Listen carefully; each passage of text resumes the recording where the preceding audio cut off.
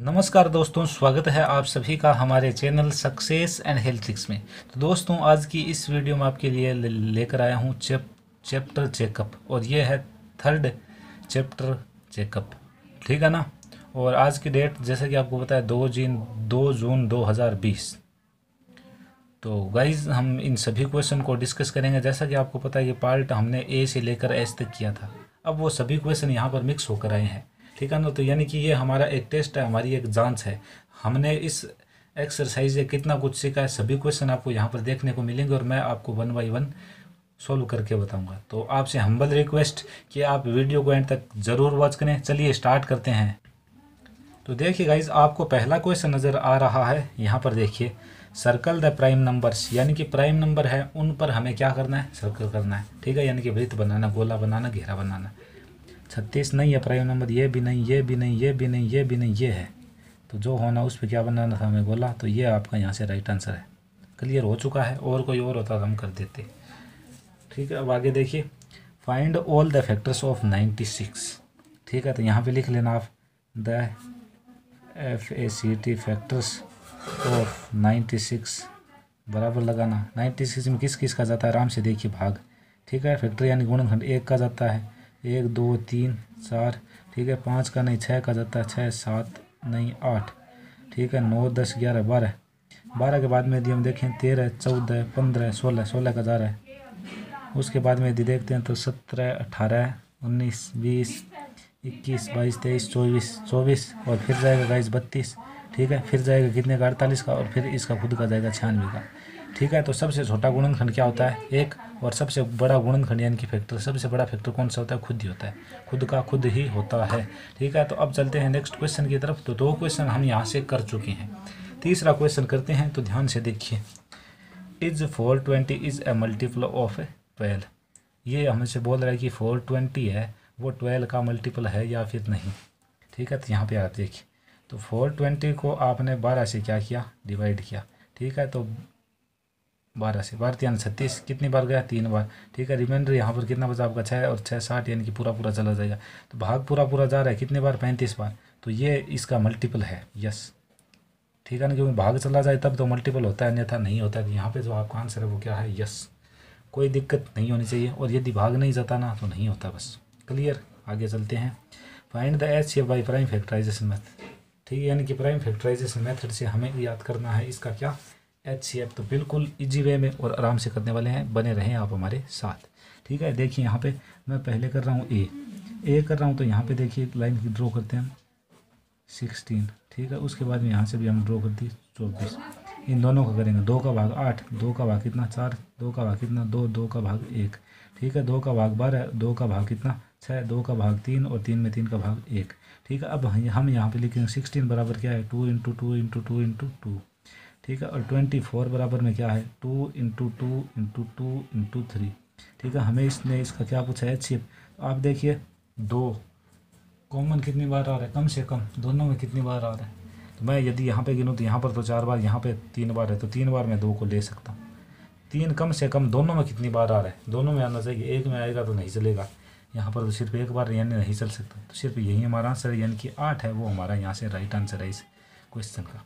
Clear, क्योंकि दो को दो से चार चार दूनी, आठ हो चुका है।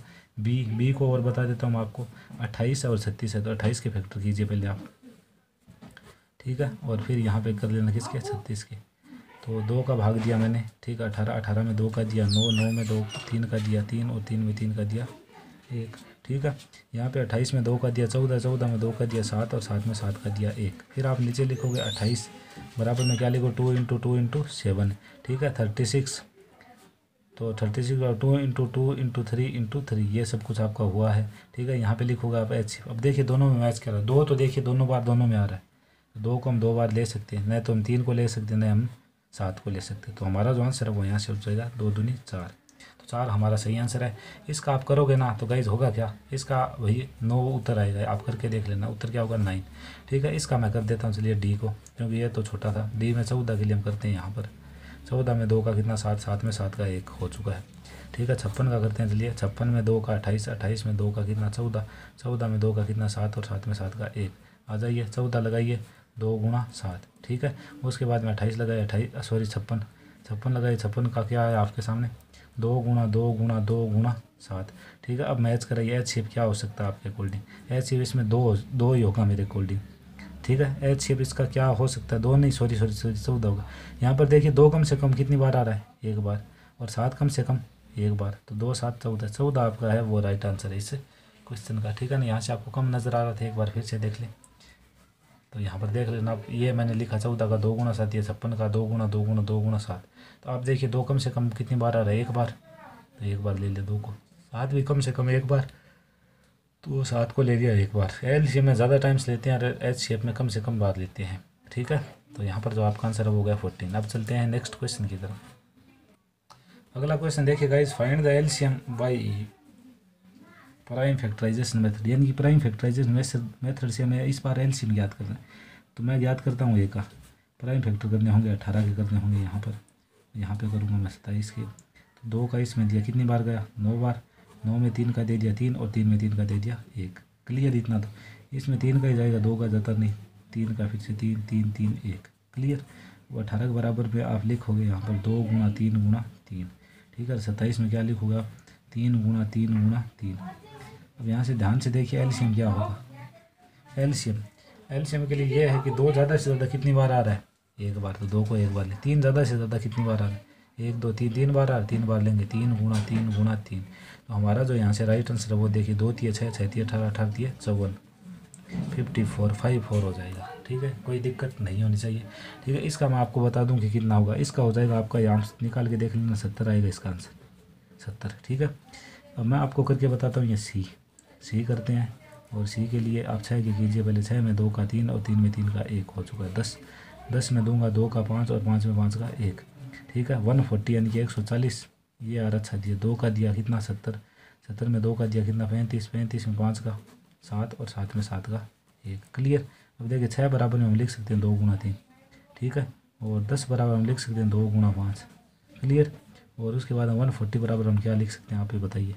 दो गुना दो, गुणा पाँच और गुणा सात। क्लियर है? अब मैं इसने पूछा एल सी आ जाइए। दो कम से कम एक, दो बार। पाँच कम से कम एक बार। सात कम से कम एक बार और तीन कम से कम एक बार। इन सभी को आपस में मल्टीप्लाई कर लो, आंसर आ जाएगा। दो दो निचार चार पंजे बीस। बीस और यहाँ पे इक्कीस। बीस और इक्कीस, चार सौ बीस। एक बार फिर से दो दो निचार चार पंजे बीस। ठीक है? और ये साथ ही इक्कीस, बीस को इक्कीस से गुणा कराओगे। ठीक है ना? बीस को इक्कीस इक्कीस दूना बयालीस, चार सौ बीस हो जाएगा। बस कोई दिक्कत नहीं होनी चाहिए।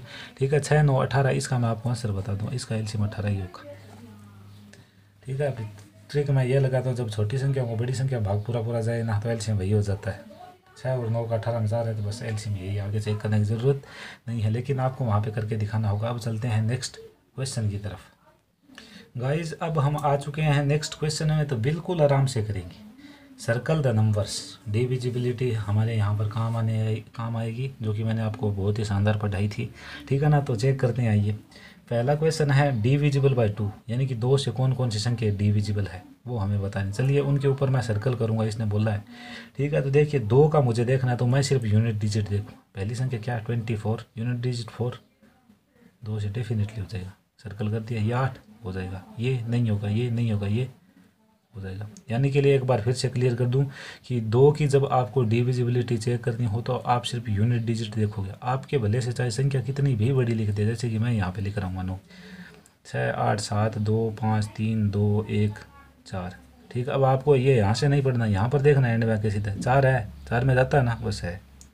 ठीक है, आगे देखिए डिविजिबल बाई थ्री थ्री का रूल क्या है? थ्री का सम ऑफ़ ऑल डिजिट्स उसमें जाता है थ्री का तो जाता है अन्यथा नहीं जाता है। ठीक है तो सेवनटी टू देखिए सेवन और टू नाइन नाइन में जाता है ना तो इसमें जाता है। ये हो गया। सिक्स और थ्री नाइन इसमें जाता है, ये हो गया। सिक्स और नाइन और सिक्स फिफ्टीन जाता है। टू एट नहीं जाता, इसमें नहीं जाता। आगे देखिए डिविजिबल बाई फोर फोर का रूल क्या था? एंड के दो डिजिट आपको चेक करने थे। एंड के दो डिजिट जैसे कि मैं इन दो को चेक करता, यहाँ से यदि करता था। ठीक है ना? तो यहाँ पर देखिए नाइन्टी टू नाइन्टी टू तो देखो हम सीधा देखना पड़ेगा तो ये तो डिविजिबल है आठ, चार दुनिया, आठ, एक बचा बारह हज़ार है। छप्पन छप्पन में यदि हम देखें, यहाँ से छप्पन भी है। हंड्रेड आपको पता है पच्चीस के सौ होते हैं। ये है क्या? चौवन नहीं है ना? आठ देखने की ज़रूरत नहीं है सिर्फ़ दो ही डिजिट देखो। ये भी नहीं है, ये भी नहीं है तो ये दो नहीं है, ठीक है? अब आगे देखिए डिविजिबल बाई फाइव फाइव का रूल क्या था? ये था कि यूनिट डिजिट या तो ज़ीरो हो या फिर क्या हो? फाइव हो। तो यहाँ पर ज़ीरो है तो ये लो, ठीक है? ये नहीं होगा, ये नहीं होगा, ये हो जाएगा। और फिर आपका ये भी हो जाएगा। अब देखिए नेक्स्ट सिक्स है तो देखते हैं इसे। सिक्स के लिए क्या करेंगे हम? टू और थ्री दोनों से देखेंगे। इसमें देखिए यूनिट डिजिट सिक्स है, इसलिए टू का तो जाता है। थ्री का चेक करने के लिए नो है, नो में थ्री का जाता है, यानी सिक्स का भी जाता है। इसमें नहीं जाता, क्योंकि देखिए दो का तो इसमें जा रहा है, लेकिन तीन का नहीं जा रहा छः का भी नहीं जाएगा। वन ट्वेंटी इसमें छः का जाता है। करके ये ज़ीरो है, दो का जाता है, तीन इनका सम हो रहा है तो ये भी जाता है। ये नहीं जाएगा, ये भी नहीं जाएगा। आगे देखिए, नौ नाइन का नाइन का आपको पता है पैंतालीस। ठीक है, इसमें नहीं जाएगा, इसमें बारह और तेरह नहीं जाएगा, इसमें नहीं जाएगा और इसमें भी नहीं जाएगा। क्योंकि आपको दिखाई दे रहा है नाइन के टेबल में सम ऑफ़ ऑल डिजिट्स करते हैं, उनमें यदि नाइन का जाता है तो जाता है, अन्यथा नहीं जाता है। दस के लिए यदि हम देखें तो दस में तो ज़ीरो होना चाहिए डिजिट ये ये तीन है, बस और नहीं है। तो क्लियर हो चुका है। अब चलते हैं नेक्स्ट पेज की तरफ़। गाइज़ इतना सब आपको बताने के बाद में आ चुके नेक्स्ट पेज पे इकतीस सौ बीस। Three one two zero is divisible by two three four five six and ten इन सभी से ये डिविजिबल है या फिर नहीं? तो मैं आपको चेक करके बताते हैं, देखिए। ये दो से डिविजिबल है क्या? इसका यूनिट इज़ ज़ीरो इसलिए दो से तो डिविजिबल है। तीन से है क्या? सम करते हैं। हाँ है तीन से भी है, क्योंकि छः में तीन का जाता है जाता है। चार से है क्या? लास्ट के दो डिजिट बीस बन रहे हैं। ठीक है, पाँच से है क्या? है। छः से देखते हैं क्या? छः यानी दो और तीन से दोनों से है। दस से है है बिल्कुल। तो यहाँ पे जो आपका आंसर है ना, वो हो जाएगा क्या? ट्रू हो जाएगा, ये वाला। क्योंकि ये सभी से डिविजिबल हो रहे हैं। सभी से ये संख्या डिविजिबल है? अब आगे देखिए every counting number is a यहाँ पर blank of itself multiple होता है फैक्टर होता है बोथ ऑफ़ देम या नन आप इस बात को आराम से समझिए।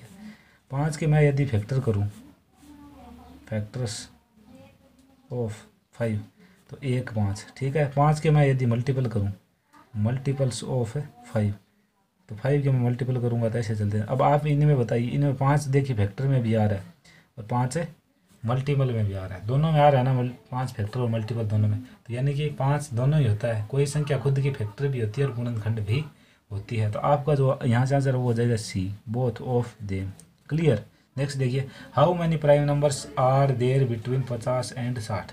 पचास और साठ साठ के बीच में कौन कौन से प्राइम नंबर्स आते हैं? तो देखिए गाइज़ एक तो आता है फिफ्टी थ्री तिरपन। देखिए आप इक्यावन से स्टार्ट हुई फिफ्टी वन थ्री का जाता है सेवनटीन का जाता है, ये तो नहीं है। फिफ्टी टू टू आ गया इसलिए नहीं। ठीक है फिफ्टी थ्री ये है प्राइम नंबर फिफ्टी फोर नहीं है फिफ्टी फाइव नहीं है फिफ्टी सेवन नहीं फिफ्टी एट फिफ्टी नाइन होगा। तो कितने प्राइम नंबर है? सिर्फ़ दो आपका यहाँ से आंसर बनेगा। कौन कौन से हैं? तो वो ये है। क्लियर अब देखिए आगे। द दसवन नंबर क्वेश्चन है द एच शेप ऑफ़ इतना इतना। ठीक है ना? अब इनका आपको एच शेप निकालना है ना? आराम से निकालेंगे। तो आप कर लो वही मेथड जो कि आपको बताया था, पच्चीस, पैंतीस, ठीक है? और पैंतालीस। करते हैं, चलिए पहले पच्चीस में पाँच में पाँच का, पाँच में पाँच का एक, पाँच का दिया सात और सात में सात का एक। तीन का दिया कितने बार? पंद्रह बार। पंद्रह में तीन का, पाँच और पाँच में पाँच का एक। ठीक है, यहाँ से आप मिलाइए। पच्चीस बराबर में क्या आया? पाँच गुणा पाँच। ठीक है? पैंतीस बराबर में क्या लिखोगे आप? पाँच गुणा सात। पैंतालीस बराबर में क्या आया आपके पास में? तीन गुणा तीन और गुणा पाँच। ठीक है, अब यहाँ पे देखिए आप एच शेप इनका क्या होने वाला मैं तो सीधा ही बता देता यार वैसे मुझे तो कोई दिक्कत नहीं थी। ठीक है, लेकिन अब आराम से देखिए आप। तो इसका एच शेप हम आराम से देखते हैं कि तीनों में क्या मिल रहा है। पाँच देखिए, इसमें है, इसमें भी है, इसमें भी पाँच हमारा राइट आंसर है, क्योंकि नए तो देखिए गाइस सात है सभी में है और नए ही तीन सभी में है, इसलिए हमारा जो आंसर है वो हो जाएगा पाँच। क्लियर हो चुका है? नीचे यार दिखाई नहीं दिया आपको। सॉरी आई एम सॉरी देख लेना है आप सब कुछ। ठीक है ना? वो हो जाता है यार कई बार। अब चलते हैं नेक्स्ट क्वेश्चन की तरफ़। तो गाइज़ अब देखिए नेक्स्ट क्वेश्चन आ चुका है। The common factors of eight ten and बारह। तो एट क्या फैक्टर्स कीजिए, क्या होंगे? एट के फैक्टर एक, दो, चार, आठ। ठीक है? यही तो होंगे ठीक है? उसके बाद में दस के कीजिए। एक, दो और पाँच। उसके बाद में बारह के कीजिए। एक, दो, तीन, चार छः बारह। ठीक है? अब हमें क्या देखना? कॉमन फैक्टर देखना। को सॉरी कॉमन सी एफ़ यानी कि कॉमन फैक्टर ढूंढना है मुझे तो इनके। ठीक है तो कॉमन फैक्टर देखना है तो देखिए इनमें क्या क्या मैच करें। एक सभी में एक लिख ले पहले। दो है क्या सभी में? जी हाँ दो है। उसके बाद तीन इनमें नहीं है। चार चार इसमें नहीं है। तो इतना ही होगा, एक और दो। ठीक है तो आपका जो राइट आंसर है वो हो जाएगा ए यहाँ से। क्लियर अब चलते हैं लास्ट एंड फाइनल क्वेश्चन की तरफ़, जो कि आपको नज़र आ रहा है। ठीक है ना? तो देखिए गाइज़ अंतिम क्वेश्चन है LCM of five ten and fifteen is यानी कि इनका एलसीएम कितना होगा? तो एलसीएम के लिए मैं यार ये मेथड न करके ये मेथड करूँगा। आपको बताने के लिए, वरना मुझे तो पता है कि कितना होगा। पाँच, दस, पंद्रह, ठीक है? किस से डिवाइड करेंगे? दो से। तो यहाँ पे पाँच, यहाँ पर भी पाँच, यहाँ पर पंद्रह। अब किस से करेंगे? तीन से। तो पाँच पाँच और पंद्रह में कितनी बार जाएगा? पाँच बार। और ये हमारा आ गया क्या? पाँच। अब एक एक एक। ठीक है? अब हम यहाँ से यदि एलसीएम देखें तो क्या होगा? तो एलसीएम हमारा हो रहा है दो गुना तीन गुना पाँच, यानी दो, तीन छः छः पंजे तीस तीस डेफिनेटली आपका राइट आंसर है इस क्वेश्चन का। तो गाइज़ मैंने ये एक्सरसाइज होपफुली आपको बहुत ही शानदार वे में करवाई है। फिर भी कोई कहीं पर कमी लगी हो तो आप कमेंट सेक्शन में जाके कमेंट ज़रूर करें। इस वीडियो में सिर्फ़ इतना ही। मिलेंगे नेक्स्ट वीडियो में। तब तक के लिए जय हिंद, जय भारत।